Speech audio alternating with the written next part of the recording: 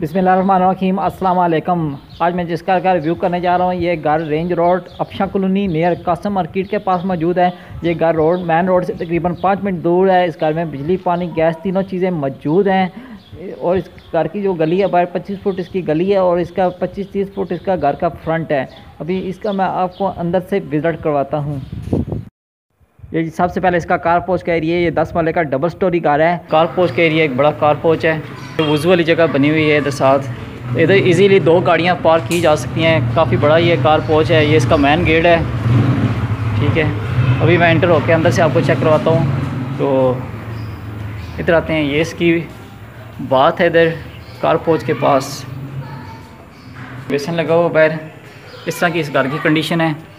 तो ये विंडो है जो ड्राइंग रूम की तरफ़ खुलती है। ये कार पोच का एरिया सारा। कार पोच के ऊपर इस तरह का छत है। इसकी डिज़ाइनिंग हुई हुई है। तो दरवाज़ा है। पहले ड्राइंग रूम दिखाता हूँ आपको। ये एक बड़ा ड्राइंग रूम है, इस तरह का। घर की कंडीशन थोड़ी पुरानी है तो आप इसको सेटिंग करवा सकते हैं। ऊपर छत इस इस तरह का इसका छत है। ये विंडो है जो कार पोच की तरह मैंने आपको दिखाई थी। अभी इधर से मैं बाहर निकलता हूँ, इस तरह के इसके दरवाजे हैं। मैं आता हूँ, फिर ये कार पोच का एरिया इधर से मैं एंटर हुआ था।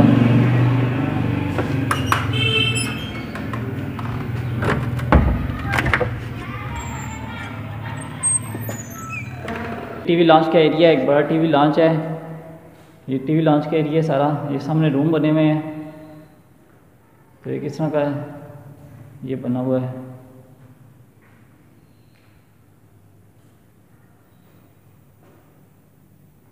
ये भी टीवी लॉन्च में एरिया आता है, थोड़ा ओपन से बना हुआ है ये वाला।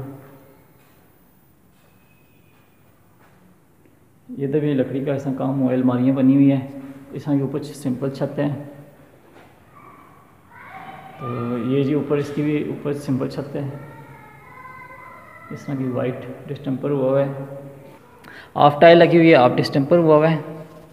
अच्छा जी, ये एक बेडरूम है इसका। मैं ये मैं दिखाता हूँ आपको अंदर से। तो इस तरह का बेडरूम है, इसकी अटैच बात भी है। ये इसकी अटैच बात है। ये अलमारी लकड़ी का काम हुआ है, अलमारी शेल्फें बनी हुई हैं। ठीक है। सामने वो लॉन्ड्री है, अंदर उसका दरवाज़ा है, वो भी मैं अच्छा ये बेडरूम के पीछे ये लॉन्ड्री से बनी है खुली। ये ऊपर सनलाइट के लिए ओपन है, बिल्कुल जगह। ठीक है, ये पीछे गैलरी बनी हुई है इस तरह की तो इधर भी स्टेयरिंग ऊपर जा रही हैं। ठीक है। ये काफ़ी बड़ा एक रूम है, दस मरले का, बहुत बड़ा ये हाउस है, दस मरले का, काफ़ी बड़ा हाउस है ये दस मरले का। ये वाला बेडरूम है, अभी मैंने अंदर से आपको विज़िट करवाया था, ठीक है ना? अभी साथ ही इसके एक बड़ा किचन है, ये वाला। ठीक है।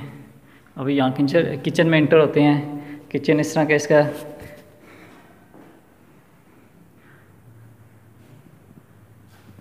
घर बंद पड़ा रहा है, इस वजह से थोड़ा यहाँ पे डस्ट वगैरह पड़ी हुई है, साफ़ नहीं है।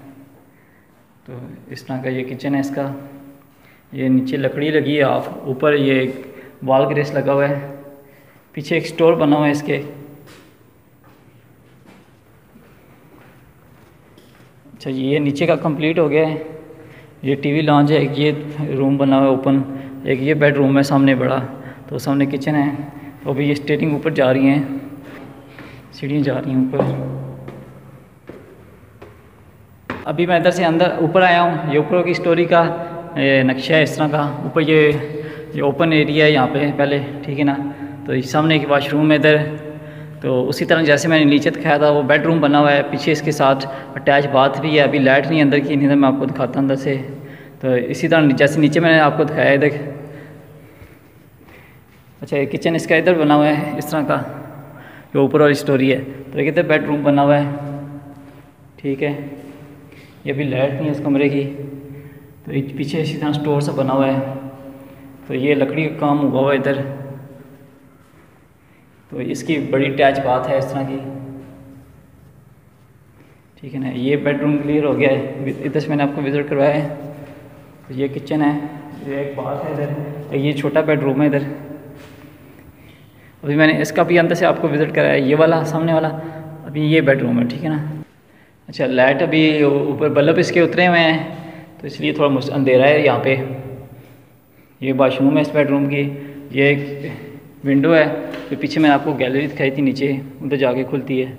ठीक है, ये इसमें लकड़ी का काम हुआ है इस बेडरूम में, इस तरह की इसकी डिज़ाइनिंग हुई है। तो ये शीट लगी हुई है इस तरह की इस बेडरूम में। ठीक है ना माशाल्लाह ये प्यारा बेडरूम है एक। छत इस तरह के पंखे नहीं लगे हुए हैं। ये क्लियर हो गया जी। ये दोनों बेडरूम मैंने आपको दिखा दिए हैं किचन है, साथ ये बात है, ये ओपन एरिया है। ये एक चीज़ है, ये मैं आपको दिखाता हूँ, ये क्या है? ड्राइंग रूम ऊपर का इस तरह का ये।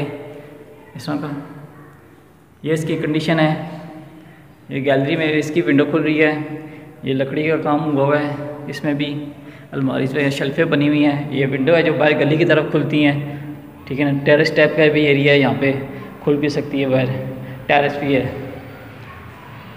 अच्छा ये अभी मैं तीसरे पोर्शन की तरफ़ जा रहा हूँ, ये ऊपर स्टेयरिंग यहाँ से मैं ऊपर आया था, यहाँ पे ऊपर स्टेयरिंग जा रही हैं, ये तीसरे पोर्शन की तरफ़।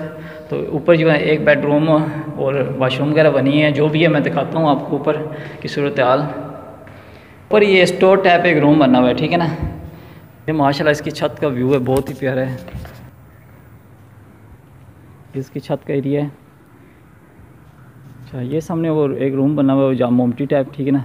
वाशरूम बनी हुई है।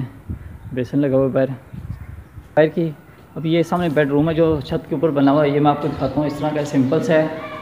ठीक है? ये सिंपल सा है। ये छत का एरिया बाहर। और ये इसका बाहर टेरेस का एरिया है। ये बिल्कुल टॉप पे जगह है। ये जगह है। बहुत ही प्यारा यहाँ पे व्यू है। ये देखें। ये इस तरह की जगह है इसकी। गली का एरिया है। ठीक है। मैं अभी एक बात बनी हुई है इसके ऊपर, ये इस तरह की। ठीक है ना? ये बात बनी हुई है एक बेसिन लगा हुआ है। ये छत का एरिया पीछे सारा। देखिए तो ओपन छत है।